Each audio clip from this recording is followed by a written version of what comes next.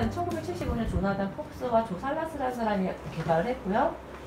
관객이 자신의 이야기를 진행자한테 이렇게 말을 해요. 배우와 음악가들이 그것을 즉흥적으로 이제 제 예술적 형식을 띄어서 심리적인 감각을 가지고 표현되는 그리고 나의 이야기가 그렇게 표현되는 것들을 감상할 수 있게 되고요. 그 다음에 사회적 상호작용은 관객과 관객, 그 다음에 이제 그런 뭐 배우와 관객 사이에 벌어지고 그러기 위해서는 이 공간이 굉장히 안전하다, 심리적으로 안전하다는 어떤 그런 분위기들을 가져야 되고 내가 어떤 이야기를 해도 이렇게 판단되어지거나 거부당하거나 비판되지 않는다라고 하는 그런 어떤 심리적 믿음의 안전함을 이제 보장을 해야 하는 맞춰서 무엇을 이야기하고 있자 하는지를 배우들이 잘 캐치할 수 있도록 이야기를 좀 이끌게 되고요. 배우는 화자의 이야기를 듣고 움직임과 소리와 말로 반응함으로써 지연을 하는 사람입니다. 화자는 지켜보고요. 보고 이제 장면을 맞춘 뒤에는 화자에게 소감을 됩니다. 그래서 진행 방식이 이렇게 진행되고요.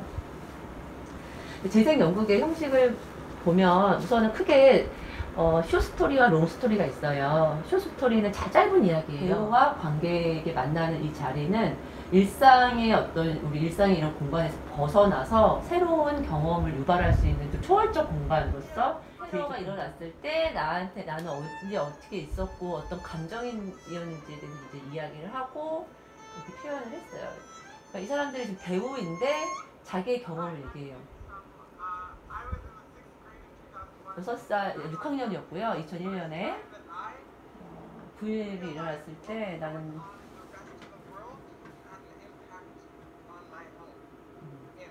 예, 그 인지입니다. 진짜 배우들이 이제 9.11과 관련된 자기 경험을 이제 화자로서 말해요.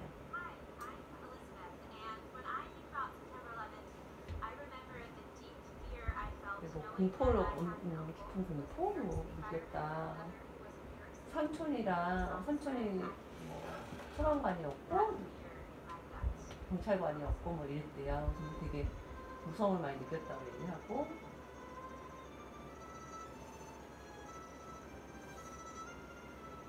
형식이 저런 무대 형식일 수도 있고 뭐 원형 무대일 수도 있고 형식이 좀 다양해요.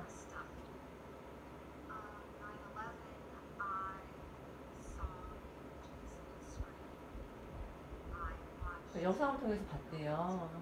음, 빌딩 무너지고 뭐. 그래서 잘 이해할 수가 없었어. 무엇이 일어났는지 전혀 이해할 수가 없었다고 얘기를 합니다. 사건들이 나오기 시작해요. V자 형태로 쓰게 돼요. V자 형태로 쓰고 이 메인에 네개 장면인데 네 개의 장면. 이 사건을 네 토막에서 상해서 그 감정을 무대에 나오지 않게 다 쇼스토리예요.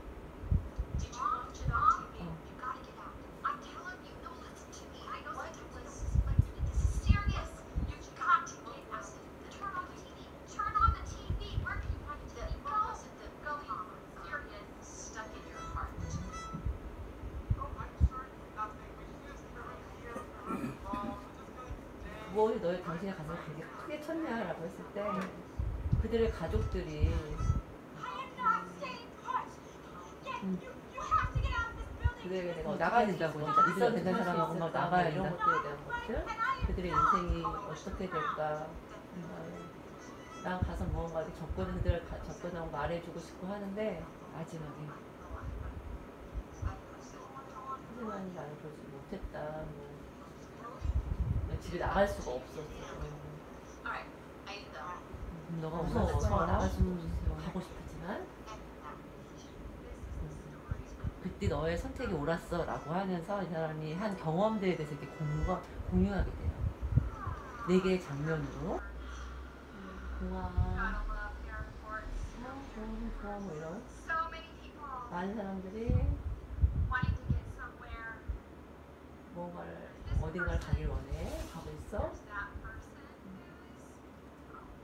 저 사람 되게 뭐 체- 참을성이 있어 막 이렇게 자기가 공항에서 겪었던 느낌들을 얘기하는 거예요.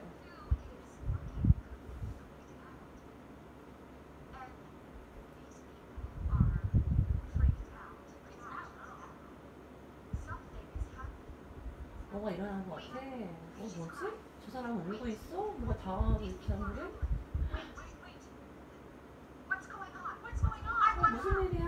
물어보는 거야. 왜, 노예 흑인 노예에 대한 어떤 역사들이 하나 있고 뭐 또 하나는 이제 우리 미국이라는 나라에 대한 어떤 역사들 뭐 인종 차별 뭐 이런 것들에 대한 이야기들 좀 하고 있어요. 그러니까 미국에서 벌어지고 있는 어떤 참혹한 어떤 그런 것들에 대해 전쟁들에 대한 역사적인 것들에 대해 이야기를 합니다.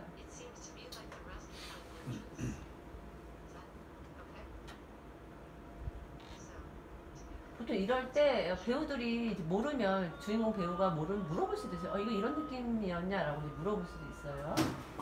근데 아까 막 러스팅 막 역겨운 냄새도 난다고 중국 같은 거 역시 음악도 좋아하시고 감정도 풍부하시고 야 근데 마지막 씬에서 그. 어떤 그 여자분이 네. 정말 그 동아리에서 실감난 연기를 한 분이 있어요 키 큰 분. 네, 말이? 예, 내가 ground zero zero에 왔는데 음. 내가 평소에 쓰던 들고 다녔던 걸어 다녔던 문이 없어졌으니까 네. 내 마음의 문까지 없어진 거나 똑같은 어, 느낌이 그렇게 느끼면 이제 어, 그게 그렇게 느끼는 게 가장 중요해요. 난 거기에다가- 배우로 이렇게. 거기에다가 두 번째로 그 여자가 느낀 게 동시에 에, 현재와 과거가 내 주변에 다 있던 게 없어졌다는 것으로 느낀 것에 대해서 과연 어, 그 언제쯤 이런 불행한 일들이 끝이 날까 하기 직전에 한 소리가 하나 딱 내 기억에 음, 내 이상 소위 말하면 그 여자가 이 표현하는 거는 나는 이렇게 알았거든요. 내 이상과 내 에, 받아들이는 현실이 너무 너무 어렵다. 너무 어렵다. 이게 제 과거 이야기가 배우들에 의해서 어, 저렇게 표현이 된다면 어떨까 생각해 보니까 정말 가슴 찡할 것 같고 어, 사람의 감정이라는 게 다 똑같이 폭넓게 자기 안에서 이루어지진 않잖아요. 네. 내가 이만한 큰 일을 이만큼의 감정으로 가지고 있던 거를 배우를 통해서 이게 다 쏟아져 나온다면 눈물을 안 흘릴 수가 없을 것 같다는 생각이 들었어요. 자기도 모르는 내면이 있잖아요. 네. 그거를 배우들이 그러니까 보면서 아 맞아 저거였어 저거였어 할 때가 있을 것 같아요. 그래서 좀 찡하, 찡하고 어, 다시 공부하겠습니다. 아 이게 다 즉흥적으로만 네. 있는 건가요? 네, 즉흥으로 아. 만든 거예요. 해상 연극 같은 경우는 이제 그때 지난번에 봤던 그 자료에서의 그, 그 극단이 하는 회상 연극은 노인분들이 이렇게 말씀을 하시면 청년들이 그 이야기를 듣고 그 중에 자기가 가슴에 남았던 어떤 장면들을 이런 즉흥으로 이렇게 만들어 보는 거예요. 만들어서 거기에다가 다시 그 즉흥된 장면 여러 개를 연결해서 하나의 이제 이야기를 짜는 거죠. 그거에 맞춰서요. 네, 네, 네. 저희가 하는 해상연극 작업은 그래도 미리 인터뷰 과정이 있다고 지난 시간에 우리가 네, 들었던 네. 것 같은데 그거는 그것도 이제 저희가 이제 어떻게 설정하냐에 따라서인데 인터뷰 과정을 둘 생각이고요. 그다음 더서 깊이 만나는 언어로 혹은 그분이 가지고 있는 어떤 물건이라든지 뭐 사진이라든지 뭔가 그분의 어떤 세계에 대한 어떤 경험들 이제 그런 게 되게 좀 필요하 지금처럼 이게 플레이백 시 같은 일종의 하나의 재현 형식인데 그 과정 안에 플레이백이 사용될 수도 있- 있는 거죠. 저희가 이제 그 어떤 경험을 했을 때. 음, 경험을 나누는 과정에서. 이게 되게 작업하는 사람 입장에서 저런 그 연극을 본 느낌은 어 이렇게 그 연극 그 실제로 실행하기 전에 보여주셨던 PPT 내용 중에 그 예술적으로 가공하지 않으면서 네. 어 결국은 또 이제 예술적인 독창적인 내용을 끄집어낸다라는 게 어, 대단히 어렵겠다라는 생각이 들었었거든요. 그러다 보니 이제 관객과 그것도 이제 그 서로 약속되지 않은 상태의 어떤 어, 내용을 자연스럽게 끌, 끌어낸다라는 차원인데 막상 아까 그 실행되는 모습을 보니까 어, 아주 기술적으로 훈련이 잘 된 그 연기자들이 그것도 또 이제 연령에 따라서 반응이 전혀 다를 것 같아요. 네. 경험이 다를 테니까. 그래서 그 훈련이 잘 된 분들이 최소한의 형식으로 개입하고 그래야 이제 엉키지 않을 테니까 그런 반면에 그 최대한 관객에 의해서 콘텐츠를 붙잡아내는 이런 게 되게 저로서는 새로웠고요. 같은 또 이제 주제도 저는 그, 어, 느낌이 드는 게 저도 우시는 분의 모습을 보면서 저를 울컥하고 이제 실제로 우시기도 했지만 그런 어떤 감정 교류가 네. 실제로 현장 안에서 벌어질 수 있다면 가장 성공적인 예가 되겠는데 진행자가 그만큼 중요해야 되고 저렇게 조용하게 완성도 있게 나올 수 있을까? 나올 수 있다고 나는 믿어요. 음. 왜냐면 아까 컨덕터라고 네. 근데 그 컨덕터에 의해서 어, 소위 말하는 화자 화자 음. 쪽하고 에, 그 어떤 그 뭐라 그러지 진행 네, 과정이 네. 예, 연결을 하는데 조금이라도 어, 시간차가 생기거나 전혀 걱정을 안 해요. 그러니까 이제 저희가 무슨 인사회나 이런 거 할 때처럼 옛날 지금은 아니지만 옛날에는 미리 그 사람을 정해놨어요 대상자를 대상자를 정해놔서 질문 또한 받아놨어요. 그래서 연출을 하는 거예요. 이게 손 들면 어 일어나세요. 이렇게 그거 하는 거예요. 그런 식으로 해야 저것처럼 이게 즉흥에 하는 게 아니고 미리 좀 미리서 어느 정도는 음, 음. 아, 참 중요한 얘기지. 예 그렇게 해놔야 가능하지. 예, 맞아요. 그러니까 어떤 어르신이 어떤. 어르신은 맞아. 이 얘기 해주시면 돼요. 동감이. 제가 제가 여쭤봤을 때 이 얘기 해주시면 돼요. 이렇게 계획을 세워야 이게 진행이 될 거. 그 감정이 다른 사람의 이야기에서 내, 내 감정이 같이 만나지는 순간 그렇죠. 사실 노인들이 안 됐다고 생각도 하고 또 뭐 전쟁으로 뭐 잃은 사람들 그런 음. 거를 안- 안타깝게 생각하는 마음이 있지만 음. 사실 그 당사자가 대해서 심각하게 생각해 보지 않거든요. 음. 근데 그런데 만나게 되는 것 같아요. 그 인간적으로. 네.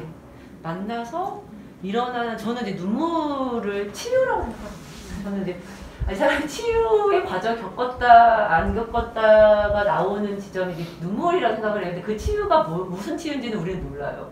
네, 무슨 치유인지 모르고 다 개인이 가지고 있는 어떤 지점들인데 그렇게 눈물을 만나는 것, 그 감정을 이렇게 만나는 것 자체가 사실 굉장히 교육적이고 치유적인 과정이라고 생각을 합니다. 그래서 그런 것들이 네, 세월호가 자꾸 생각이 났어요. 음. 네, 다들 그렇게 생각을 그렇죠. 하셨을 네, 거예요. 네. 그 저기서 이제 저기 있는 관객들이 세월호의 직접적인 당사자들은 아니에요. 음. 그, 그런데 사실 저희가 뉴스를 보면서 음. 그거에 대한 어떤 트라우마들이 다 있는 거예요. 음, 음. 그러니까 저기 저 말씀하시는 사람들이 단지 내가 뉴스를 통해서 보았음에도 불구하고 음.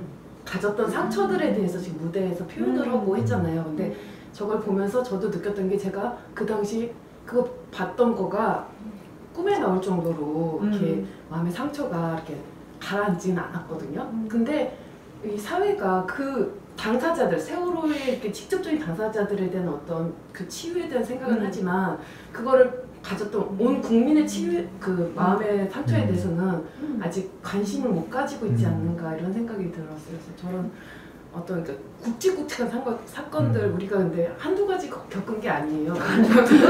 그렇죠.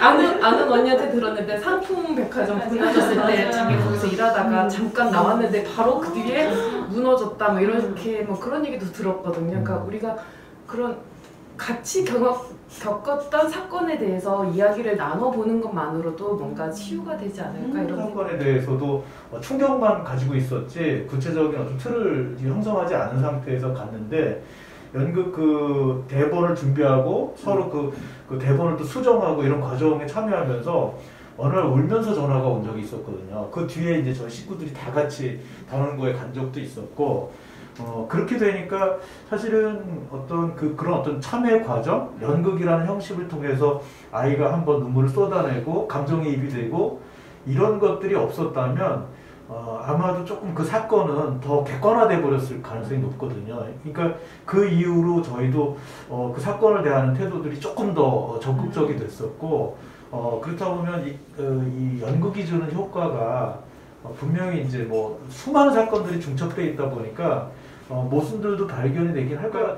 어떤 장소성에 녹여내느냐에 따라서 때로는 뭐 정치적으로 딱 그 대립각을 세울 수도 있지만 어, 내, 내 공간에 찾아온 그냥 뭐 이렇게 자연스러운 손님을 이렇게 맞을 수 있는 것처럼 그런 어떤 녹여낼 수 있는 공간 내지는 그, 그 감동을 받을 수 있는 연- 연극적 내 걸 풀어내고 또 풀어낸 걸 피드백하면서 어, 서로 간에 이제 공감대를 만들어갈 수 있는 요소로는 굉장히 좋겠다.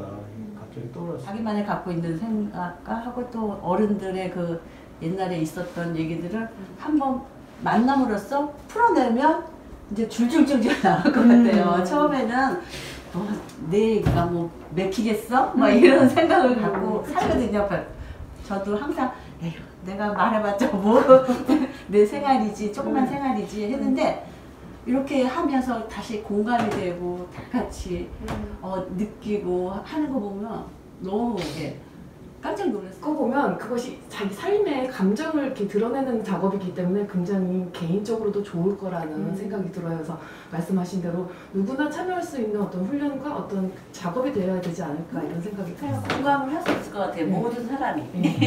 그래서 저는 이제 마을에서 이런 생각이 들더라고요. 마을에 이런 소, 소그룹을 만들어서 정말로 그분들이 그런 그 마을 지역에 나중에는 이제 지역에 있는 어떤 노인분들이나 아니면 뭐 다 소외된 분들 아니면 여러 이슈들을 이렇게 만들어 나가는 어떻게 할까도 궁금했어요. 저렇게 나오려면 배우들은 어떤 연습을 할까도 궁금했고 우리가 어떤 만약에 드라마를 봐도 누가 이래저래 때 얘기 듣는 것보다 막 이렇게 연기하면서 해주는 얘기를 들으면 더 이렇게 음. 몰입이 되잖아요. 그러니까 그리고 요즘은 뭐 글 읽고 뭐 그런 것보다 이렇게 보는 게더 이제 젊은 사람들도 보는 게 더 익숙하니까 이런 내용도 그냥 이렇게 듣는 것도 좋지만 이렇게 또 이렇게 더 감정이 더 이렇게 더 많이 실려서 이렇게 보면은 많은 사람들이 그래서 보게 되고 또 이제 공감을 더 일으킬 수 하고 그 감정을 자신만의 예술의 형식으로 다시 감정을 표현하면 관객은 또 자신만의 어? 이해로 그것에 대한 새로운 감정 체험을 하는 거예요. 그러니까 몇 단계에 걸친 이 감정을 매개로 한 음, 예술, 그러니까 예술이 이제 감정을 매개로 이루어지게 된다라고 하는데 사실은 모든 연극에서의 뭐 어떤 주장 혹은 뭐 이즘 뭐 이런 거 상관없이 사실은 감정, 감정을 체험하는 거 그러니까 여기서 뭐 9.11의 사태가 옳았다 그, 그렇, 그, 그르다 혹은 왜 미국은 선하다 선하지 않다 뭐 이런 게 중요한 게 아니라 내가 거기서 무엇을 느꼈는지 어떤 감정을 체험했는지 이것이 나 그런 것들을 갖다 다시 재경험하는 것 이게 좀 의미인 것 같아요. 그래서 노인분들의 삶의 이야기가 청년들의 삶의 옳고 그름의 문제가 아닌 그것을 몸으로 실체적으로 느껴보는 경험이 되었으면 좋겠다는 게 저예요. 이것이 노인 세대한테 청년 세대한테 그다음에 관객에게 어떤 전달을 할수 네, 있을까? 그게 아마 개인의 삶으로는 제각각의 트라우마로 남아 있을 테고 표현의 방식만 다르지 누군가 툭 건드려서 물고만 열어주면 울음바다를 만들 개연성도 많거든요. 그러니까 그런 분들이 어, 저희 태평동에 또 많이 살고 계시고 단지 이걸 이렇게 끄집어내서 어, 다른 사람과 이렇게 교류할 수 있는 장과 어, 기회가 없었다라는 건데 지난번처럼 어, 가천대 학생들 우리가 이제 젊은이들에 대해서 피상적으로만 알고 있던 거를 막상 대학생들을 만나서 몇몇 어, 학생들이 이야기하는 걸 들으면서 그 일, 일정한 선입견이나 편견들이 이렇게 그 이렇게 해소되는 느낌도 받았듯이 아마 어, 접촉 자체가 굉장히 중요한 이 연극이 어, 토대로 하는 가치 아닐까라는 생각이 당신의 꿈이 있었던 거예요. 음. 그 꿈을 중간중간 포기할 수밖에 없었던 게 어쨌든 가족에 대한 부양, 그러니까 이제 자식에 대한 부양에 대한 것들 때문에 이제 항상 그거를 이제 후순위로 항상 밀렸던 거죠. 지금까지도. 그리고 이제 마지막 말씀이 뭐 사는 게 별건가 이렇게 살다 가는 거지라고 저걸 보면서 아 스님이 어떻게 주제를 잡아갈까라는 게 궁금했어요. 네네. 궁금하기도 하고 어, 예를 들어서 지극히 개인적인 거 얘기 이야기지만 누구나 공, 공감이 가는 아 그래 우리 삶이 그랬지라는 그런 거는 또 어떻게 접근이 될까라는 게 예. 저는 이제 생각을 하고 있는 건 태평동이라고 하는 이제 공간에 대한 이제 고민에서 출발을 했고 어, 길, 골목이라고 하는 주제로 좀 접근을 할 것 같아요. 길에 대한 어떤 이- 어, 그 길이 진짜로 객관적인 어떤 구체적인 실체로서의 길일 수도 있지만 은유적으로 내 삶의 어떤 여러 다양한 길들을 표현하고 꺼내고 거기서 장면들을 만들고 이렇게 좀 생각을 했어요. 그래서 그런 식의 접근 방식으로 갈 것 같다. 뭐 선생님 말씀하셨던 뭐 이사라고 하는 주제도 있었고요. 뭐 패션도 있었고 다양한 선생님 이제 골목길 말씀하셨고 다양한 주제들이 있었어요. 그래서 만약에 어, 말씀하신 것처럼 지극히 개인적인 주제로 접근할 수도 있고 굉장히 큰 집단의 기억으로도 가- 접근할 수도 있는데 우리 태평삼동이라고 하는 우리 마을에서는 어떤 이야기들을 참 건- 해보면 좋을까 뭐 이런 것들도 한번 이야기해보면 참 좋겠다는 생각이 들더라고요. 음, 경사진 그것도 괜찮아요. 경사진 골목이라는 경사에 대한 어떤 걸 가지고 뭐 그것이 이제 내 인생에 대한 비유로서의 어떤 경사일 수도 있는 거고. 처음 오는 분들은 다 어, 여기 어떻게 음. 다그 얘기하고 저도 처음에 왔을 때 음. 어, 어떻게 여기 이렇게 다 지- 지지 그게 다 궁금해하고 이제 가상 주제를 저 나름대로 한번 정해봤어요. 네. 성남, 태평동에서 삶 음. 해서 이제 이게 어, 연령별로 접근을 해야 될지 직업별로 접근을